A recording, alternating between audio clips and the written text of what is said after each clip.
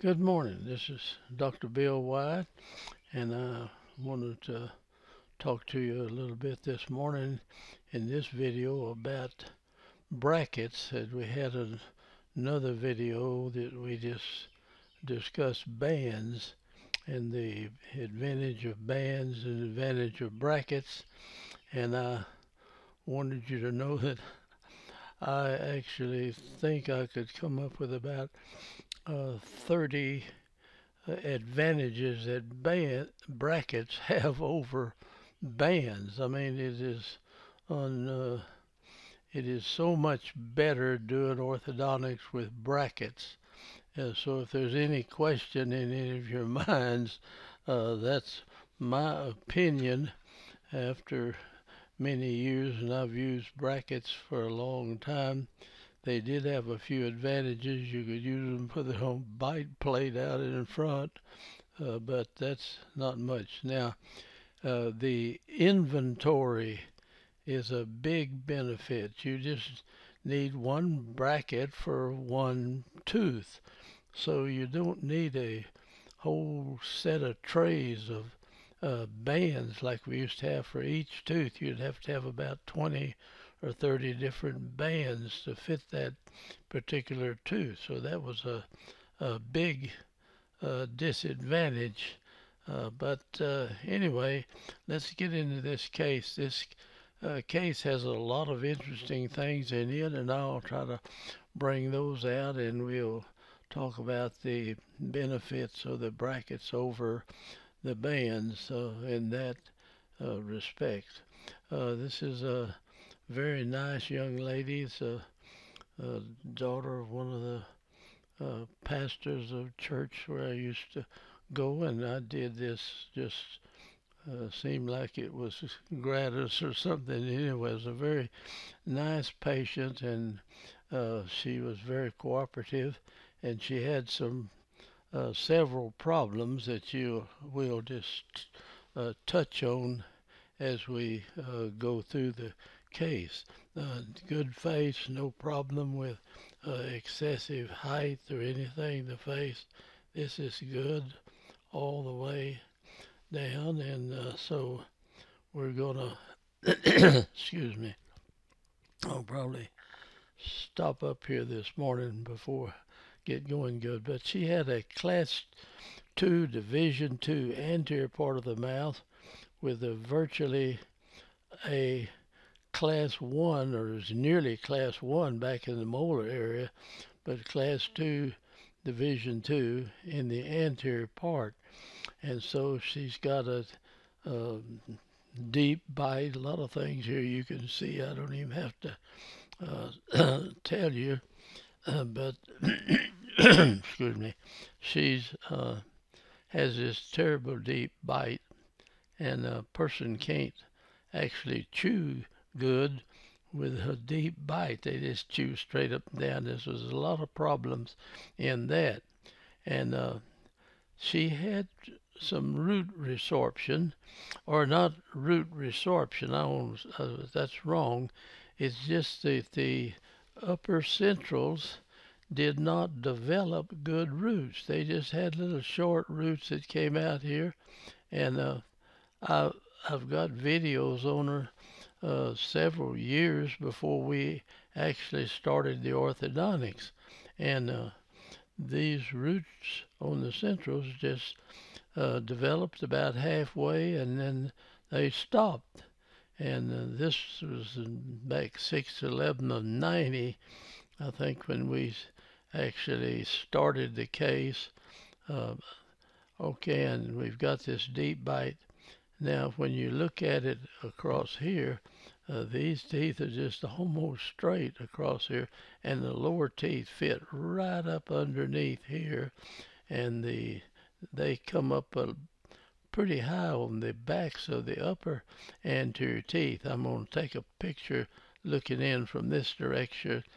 Uh, I'll show you on the models, you can't you can't get one of those um, in the mouth unless you got some special kind of camera.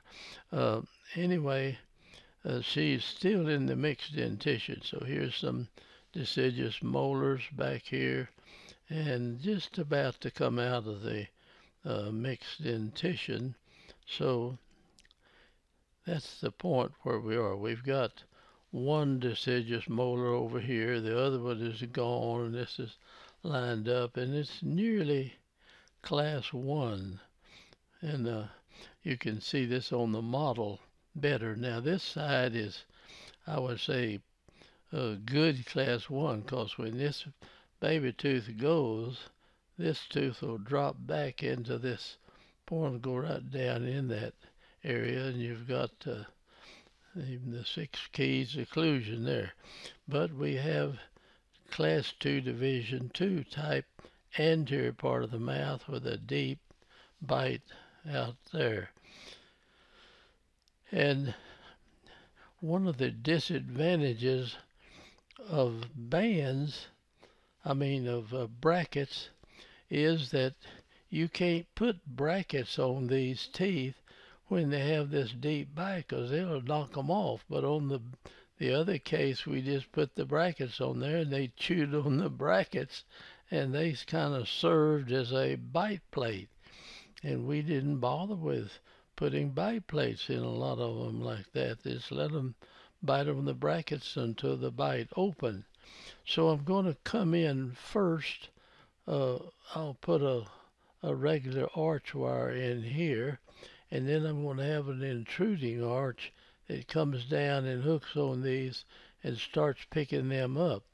And one thing I wanted to bring out is that we move these teeth so fast and it did not have any damage that I could ever tell on the teeth. And I followed her uh, several years after that and uh, found absolutely no uh, ill effect on the uh, roots of the teeth that I could tell from x-ray. And so we're going to start this case, I think, in 8-6 of 90. And uh, we go along now looking in from the back side of the uh, model. Uh, the lower anterior teeth came almost up to the gum tissue back here, but not real deep. Some of them we get, they actually got imprints in the gum up at the top, you know. But these lower anterior teeth are right up against the backs of the upper anterior teeth, and that locks the jaw back in that position. So if somebody has a TMJ problem and the jaw is moving back here and pressing on the retrodiscal tissue, if you open the bite, push these down and these others up, uh, the jaw can move forward and it'll just go forward on its own. And usually it will solve the TMJ problem that many people have like that. So we'll go on and look. Now, we put this intruding wire. You see this wire that looks like it's bent down here. Actually, it would go up like that. Now that's a round wire, but a springy wire. This other one, a little wildcat wire, and this was back in 90. Uh, you could put a an 016 uh, NiTi wire on there and do the same same thing. And we just attached it to these four anterior teeth out here. And as we went over the cuspid, this was pushing right down on this, so we put some material in here to kind of pad it a little bit and wired that up on that area. And I want you to watch what happened to these teeth and the time it happened. And the young lady wasn't complaining about them being sore or anything to show you how speedy you can level a bite with these intruding arches in there. Now brackets made it possible to do this. If I'd have had to go in and put bands on these teeth, then this would have enlarged the arch and it would have pushed these teeth out and you would have had uh, be starting from a different point. Just putting the separators in is a big problem. I mean, you've got uh, spaces, quite a bit of space between every tooth in the arch, and so it enlarges the arch quite a bit and changes the torque on them. Well, you don't have that uh, going on during the uh, brackets and these are little tiny brackets and they give me a large interbracket space and you can bend the wire and do more uh, where you've got a, a large interbracket space and in between here see okay let's go on to the next uh, deal I'm sorry to get choked up here in the morning. All right, this is this intruding wire now that goes up like this. And we pull it down and tie it to these teeth. And this is on 8, 6, and 90. Now let's uh, watch this move now. Okay, looking at it from down here, we brought the wire back and attached it down on the central I can't, I thought I had it attached to both centrals. Surely I did. Uh, and anyway, that's the day we started it was six, 8, 6, and 90. And we've got these two deciduous teeth in there. Now, and the bottom is we had nothing except they had the bands on the teeth waiting. So as soon as we got the upper teeth out of the way, we would start the bottom part down here. okay, and there it is again, 8, 6 of 90. Uh, so here it is now, 9, 11 of 90, which was one month and about uh, five days after we started the case and look where these teeth are. One month later, she came back and uh, had no discomfort with the teeth at all, no, no complaint. I'm sure they were very tender right here, but those teeth have moved completely away from the other teeth uh, here. And I've got several other views of this. There's where it was when we started and you see where it moved to. In other words, those anterior teeth moved out somewhere along here in just one month. And you can use these intruding arches. They stick them on top of the other arch the day you start, you see. And you'll have a case leveled while somebody with just one arch wire trying to get it something big enough to do this can get started on it, you know. And these little curved arch wires they have don't do the job like that. So this is, we started 8, 6, and 90, and this is one month and five days later, it looked like that. Now we've got it completely away from these teeth, now we can go in and bracket the other teeth. And this is a, the advantage of brackets. And uh, there's so many advantages, uh, it's hard to uh, say. I used to have to take my thumb and shove the bands on the teeth. And this was before we had gloves, but you, you, my thumb had a calluses on it uh, where it had been cut or just a little bit of cutting of pushing the band down on the teeth. And if you did very many cases and band a couple of cases a day or something like that, my thumbs were just uh, more than uh, tougher than a, a guitar player's fingers, I think. So anyway, we're uh, moving on with it that way. Now here it is 9, 11, 90, and this is straightened out like that. And uh, this is the young lady, and here she is a little bit more. Now you'll notice that we developed the upper teeth and it brought them out in just a short time. We had it out there, and then we went in. Well, I started, I think, the uh, lower uh, teeth, putting the brackets, and I've got an intruding wire here. It's a rectangular one, and we're expanding with the regular deal, and we're opening the biter, leveling it out uh, with this. And if I'd had to do this with bands, it would have been hard to put the bands on. In other words, just making the space for the bands was a, a big problem. You had to put all these uh, separators or plastics uh, rings in there separating the teeth to do that. Now here is this intruding wire down here. It's rectangular. I made it too long, so I just uh, shortened it.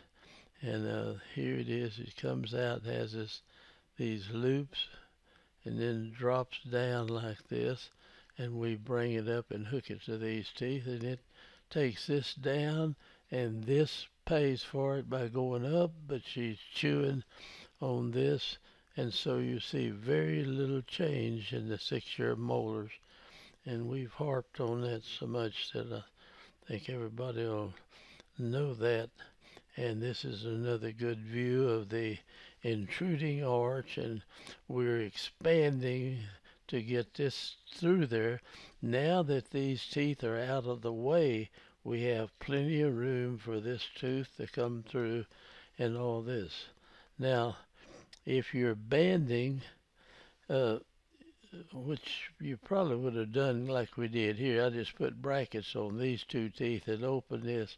And now when I get this coming through, I'll put the bracket in the right position, you know, up, it'll be here. So it'll bring this incisal edge down with these other incisal edges over here. Uh, that's another advantage of brackets. In other words, you can go up and down the tooth wherever you want to, but a band is made to fit a tooth. You know, it kind of cups in or stops at the edge here somewhere. And uh, same way back on molars, the bands are made to fit at a certain spot. But brackets, you could just go up and down the tooth wherever you want to. If it's a convex tooth surface and you lower the bracket, then you're going to change the torque would go out this way, and it'd go out this way, and it'd go out this way. So the torque uh, changes, and this is negative torque. In other words, if you uh, get up close to the top on the tooth, in other words, you've added a negative torque to it. If I bend, no, this would be a, it would be torque in the tooth if you go up, but if you go down with the bracket, it is a negative torque. In other words, it would tend to tend this to move this tooth back in this direction if you put the bracket lower on a con vex tooth. Now, a straight tooth, just a plain straight tooth, it would make the difference. But most teeth have some kind of convex curvature to them. So when you lower the bracket, you decrease the torque in the tooth. And uh, that's, you have to think about that a little bit. Now, I like to lower my brackets on adults, I get them down real low where you they don't even the people don't see them when they talk uh, unless they pull their lower lip down a lot. Uh, they won't even see them. Uh, so here we are with these brackets are pretty low too. See they're they're down here and it doesn't make any difference. I can put them wherever I want to. I just have to know that the torque will be slightly different so I can put a band on back here and go downhill with the arch wire coming up that way where you hardly will see this with the person talking. They might show this much. Now you tend to show more your upper brackets than you do your lower brackets. That's just a little benefits on the side. So here it is, 10 of 91, and we've got this young lady well on the way. And you can see this is, we had this straightened up before she lost these upper teeth and got these upper bicuspids in. And that's another thing, you don't have to mess up the contact point with the separators and the band and all that and move it out. And uh, you can just let this tooth come in with just enough space and then put a bracket on it. And you don't have to worry about spreading it out. So there's, uh, there's just a lot of good advantages uh, for uh, brackets. I just can't say enough. And the, one of the main blessings of brackets is that you do not have to guess at what torque you want the teeth to be in when you get through. But when you're in bands, you've got to expand the arch more than you think it needs. And then when you take these bands off, you close all that space and you lose a lot of the torque that you had. And you better hope you had more than you need. And the case that I showed earlier, it didn't finish with quite as much torque as I would like for it to have. And I had more than I wanted when I took the bands off. But you take, you go between all these teeth with two layers of metal and then you come in with two layers of cement between every tooth in there and you have a lot of space in there. And so it's going to change the torque when you take the bands off but taking the brackets you don't. So you can bring mother in or the family or whoever is interested and say is this what you like? Is this the way you want it? Because this is the way it's going to be. And so you get them just like you want them and you have no space between the teeth and you take an impression of it and immediately build a retainer that goes on there and it'll stay pretty much like you've got it if they stay with the retainer. That's a proper retainer now. I don't like these little suck down things that don't allow the teeth to come together. Teeth need to come together to really finish properly. And uh, those little plastic shells do not allow that. They're just as thick in the back as they are in the front, and the jaw is not the same way back there. And uh, so that makes them hit more back here and not as much in the front, and the occlusal height of the teeth is uh, varies. So I do not uh, hold with the suck down retainers as being good, but they are so cheap and easy to use that in these cases where they just pay so much to do it, and the guy to come out on the case uh, just has to put them in retainers like that. But don't let people uh, mislead you. That is not the best type of retainer. All right, here we are. We've got in rectangular wire now, and we are going to go ahead and finish this. Now I'm going to go back and try to cover some of these x-rays and show you. Uh, this is uh, early on in the case. This is 1986, I believe, up here, and she's about eight years old. And I went back and looked at the roots on these centrals, and they were about along here. And the laterals hadn't even come in, so I couldn't tell them. But the centrals were in good, but they had short roots on them at this point right here. This was 1986. Now, uh, in the next uh, Panorex I took was 1988. Uh, well, I don't know. I had a number two in there somewhere, but this is number three, and she's 10 years old or nearly 11 years old.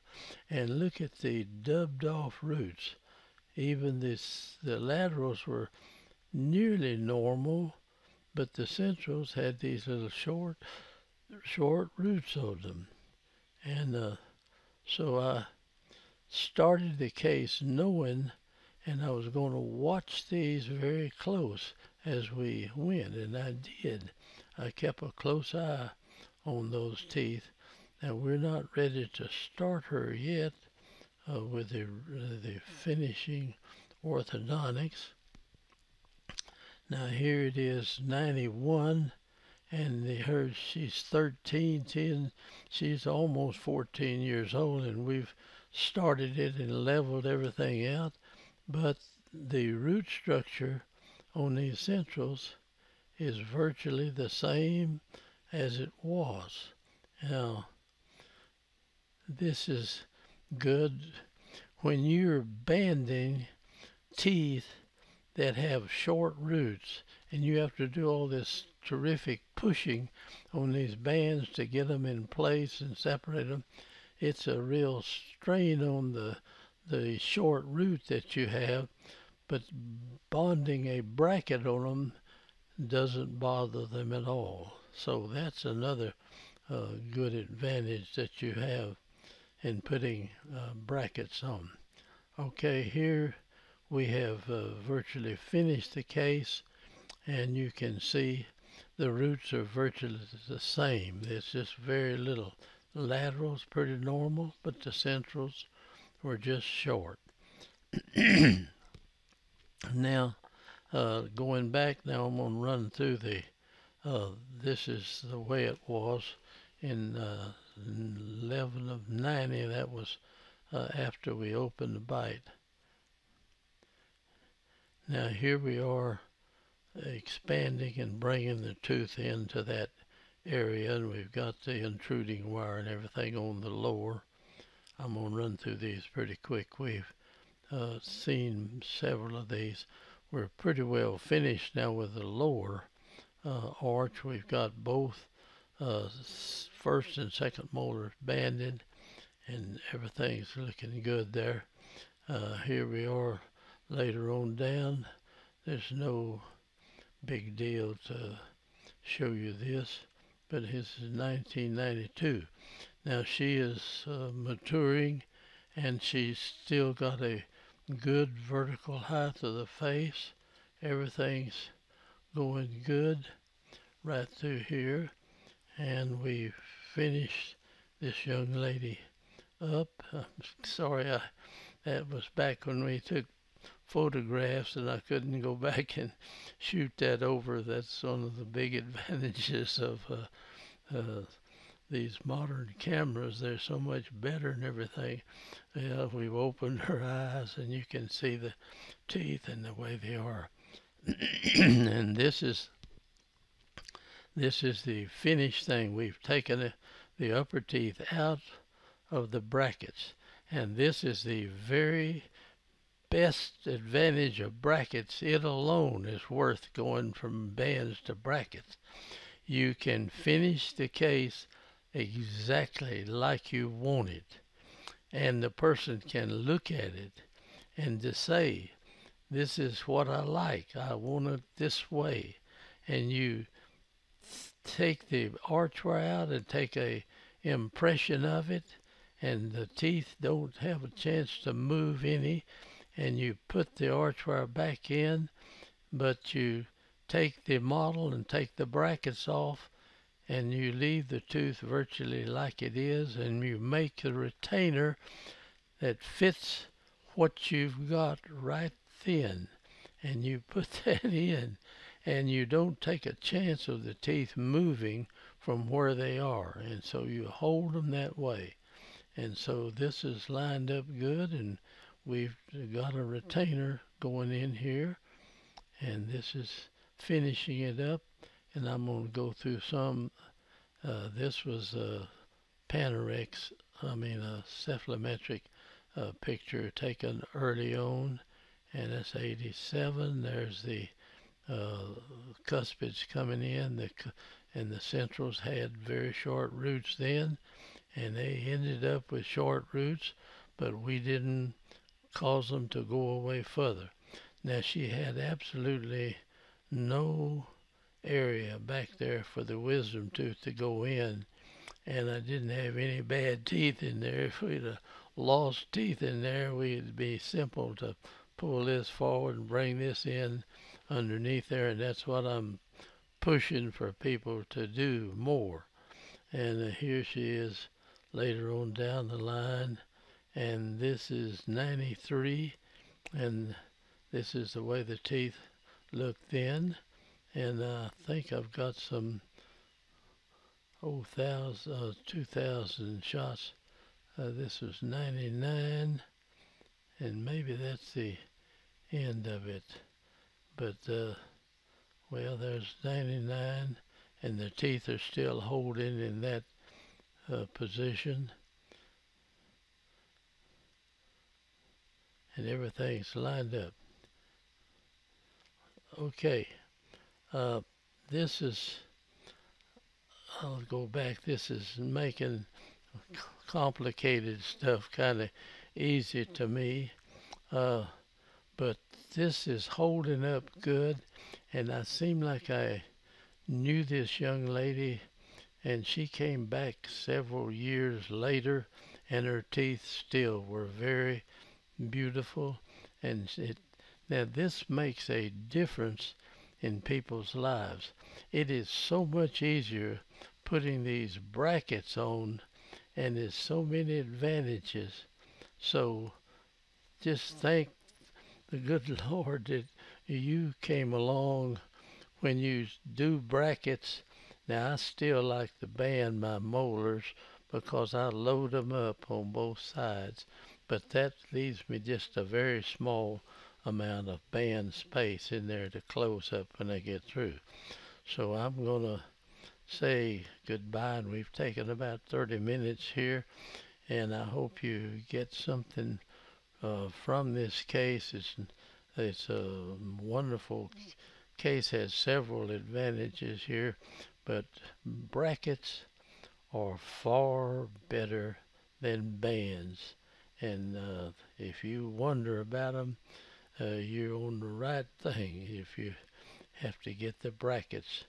Now people try to make fancy, fancy brackets and say you can finish the case so much faster. Uh, some of this maybe have some little truth in, but uh, you can take a simple, pretty simple bracket and do virtually anything you want to with teeth. So I'm going to sign off and say goodbye, and uh, I hope you will uh, subscribe to our pro, po, uh, program. And I thank you very much for watching. I hope you get something out of this.